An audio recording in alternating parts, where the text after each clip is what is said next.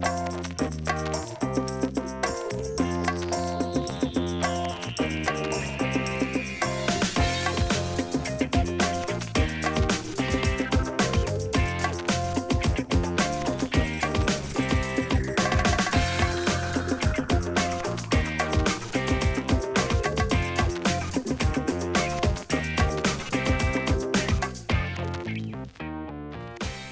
The first thing I do when I assume control of a building is to inventory all the mechanical equipment to find out what my capacities are. And I conduct interviews with the custodial staff and the program staff to find out what their actual operating hours and needs are. And I try to match that so that we have energy efficiency, only running mechanical equipment when it's actually needed. When I first came to the building, I noticed that the uh, rooftop exhaust fans were running 24 hours a day, 365 days a year. I was doing a building walk down with one of the custodians as I did my inventory, my physical inventory of the mechanical equipment. And he pointed out to me that this particular rooftop exhaust fan timer was broke. One of the other things we noticed is that the third floor is always too hot and the second floor is always too cold. So what I would do is I would take my CO2 meter and I would measure the air temperature, the relative humidity, and the CO2 levels. And that allows me to verify the actual readings of the space against the actual ASH, ASHRAE and DCAS standards.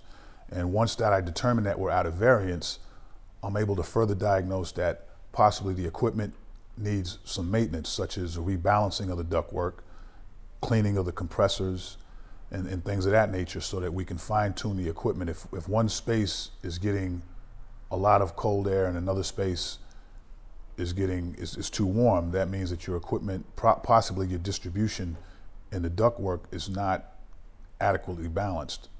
Well, since we've adjusted and repaired the uh, timer for the rooftop exhaust fan, we've seen a steady 10 to 15% decrease in kilowatt consumption based on the same time period the year prior.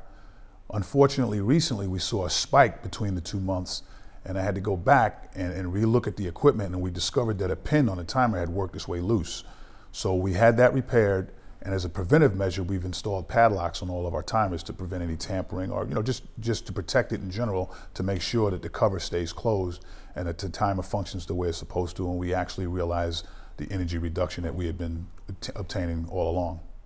The, the primary tool for any facility manager is to inventory the equipment, inventory your staff, interview your staff, and take measurements so that you can you can kind of guide or drive the building. If, if, if you look at a building operating system as a vehicle, it kind of gives you that sense of direction that you need to make sure that you're fine tuning your equipment and, and you're actually energy efficient.